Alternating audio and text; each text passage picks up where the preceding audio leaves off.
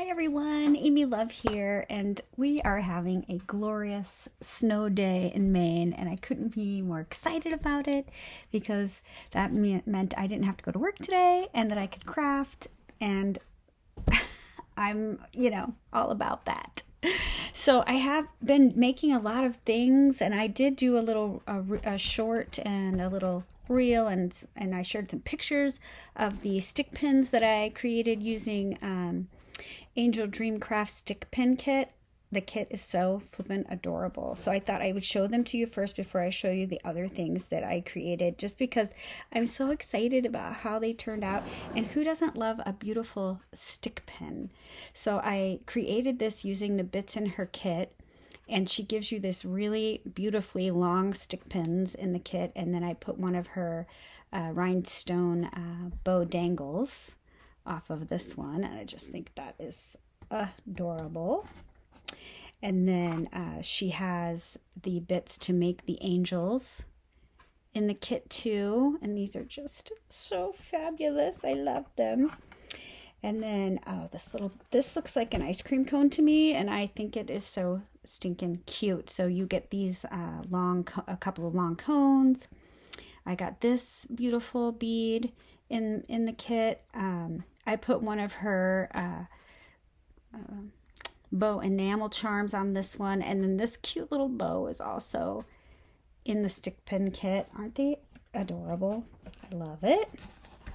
On this one, I put one of her uh, pink uh, rhinestone heart charms dangling off the side, and this cutie was in the kit also.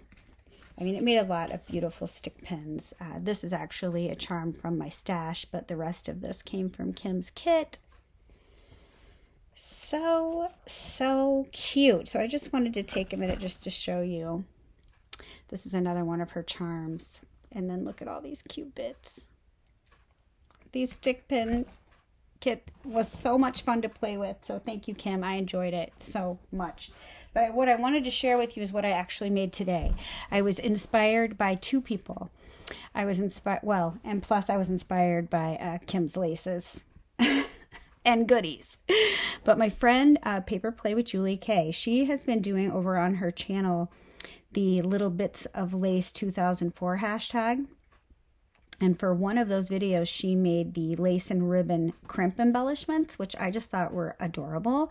And I had so many of these um, crimps in my stash that I was like, okay, I feel like I have to try that. So thank you for the inspiration. It's it's these little things right here. I have them in all kinds of different sizes because uh, when I make my shabby chic cuffs, I like to use these. So I that's why I have so many but I loved the idea of just making these little ribbon crimp uh, lace crimp embellishments. So I made this one using beautiful stuff from Kim's shop. There's a long lace in the back, some cheesecloth. This really pretty uh, dangle, it's one of my favorites from Kim's store. It's just a really, really, really pretty color. Then there is uh, this lace that I cut into individual roses. Then I put a little snippet on uh, a gold bulb pin and then I just put a piece of bling on the top. So I just think these are so cute. So I did make a couple of those because I was just inspired. And so, oh, they're sticking together. Here is this one using beautiful laces from Kim's shop and some rhinestone cup chain. And this is part of an applique that I've been cutting on um, that has just really pretty sparkle on it. I love it. And then I put a piece of bling right there on the bulb pin. Isn't it cute?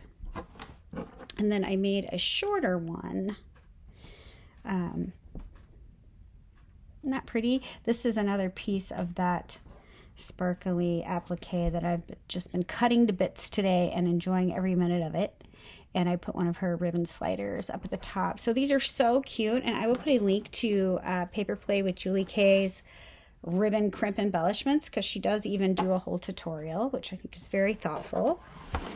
But along those lines, I have been obsessed lately with T. Myers Handmade on YouTube. She upcycles all the things and I I am just inspired. So really she made um, like a little bag necklace thing Uh, so I kind of took that idea with uh, Julie's idea and I put them together and I made these necklaces. And I just think they are so stinking cute.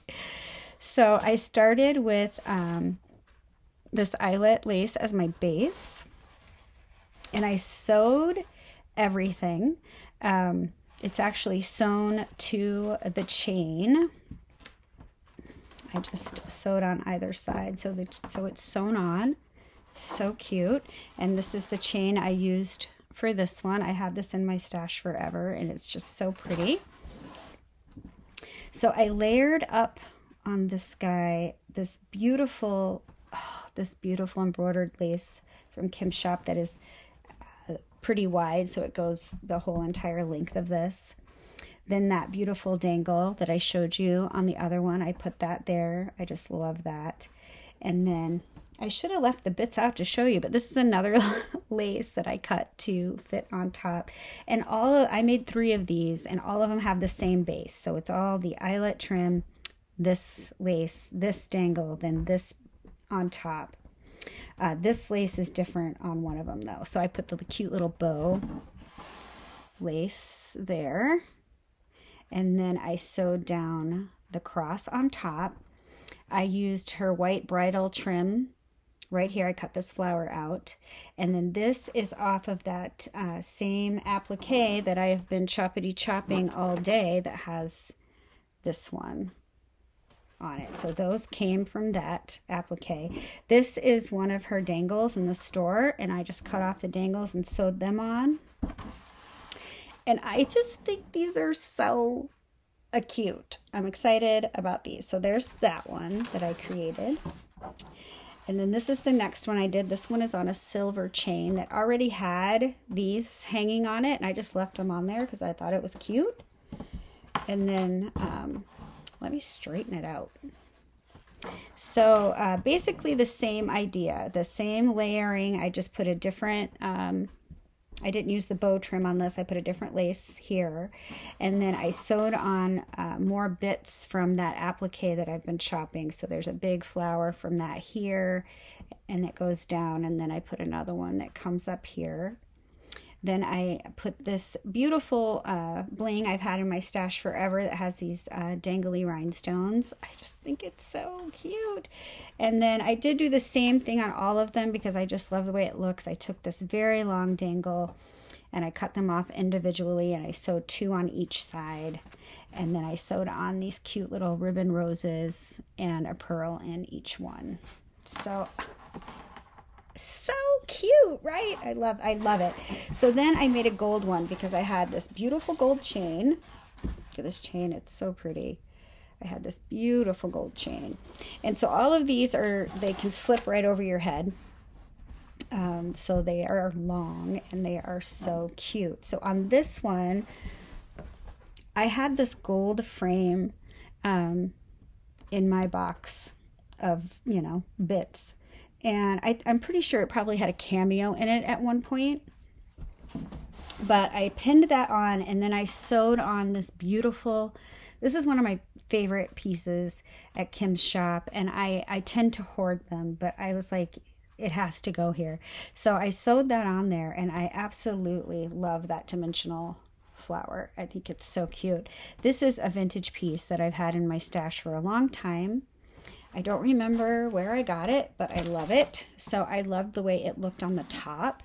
And then I sewed on some gold uh, rhinestone cup chain to give it some more gold accents and of course some more rhinestones so i just i'm loving these i love i'm loving these so much and i'm telling you this um, T. Myers Handmade has just got me wanting to make all the things. So make sure you check out my description box where I'll have a link to her channel and a link to Julie Kay's ribbon crimp um, tutorial and also a link to Kim's shop where you can get all of these goodies and make some for yourself. So please leave me a comment. Let me know what you think. Don't forget to give me a thumbs up and I will see you guys on the next one. Bye everybody.